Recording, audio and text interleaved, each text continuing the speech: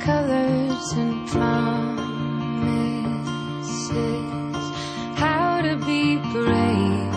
How can I love when I'm afraid to fall? Watching you stand.